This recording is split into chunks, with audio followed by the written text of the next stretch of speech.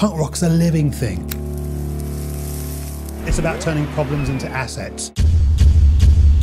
And as a first generation British born black, that's something I know a lot about. That was the thing about the racial climate in Britain. It was pretty on fire when it came to dealing with the authorities, like the police and stuff like that. And for us, being the generation born and raised here, it wasn't about trying to fit in. We had a different fight. So the Roxy Club is this punk club, and Don was going to be the DJ. One day he just announced, I'm going to get a camera. And from that moment, he was filming practically every band that played there.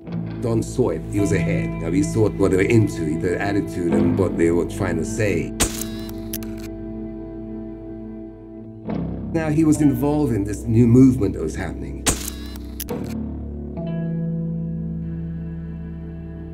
Thing about Don was that he was always on a mission to achieve something.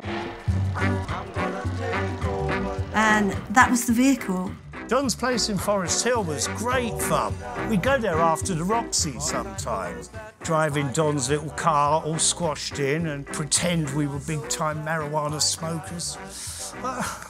We went back to Don's house to hang out and stuff. Lots of people did. You could tell immediately how brave he was, not only because by how he looked, he would stand up for himself.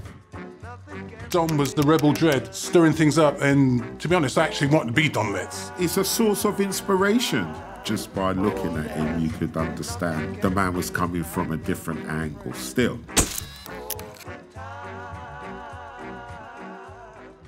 Don was the spearhead of making videos in England for black groups.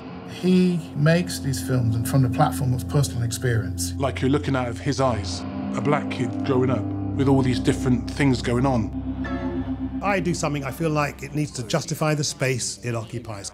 Made films about things that mean something, man, and they can actually help to move things forward. Either speaks to me or it doesn't.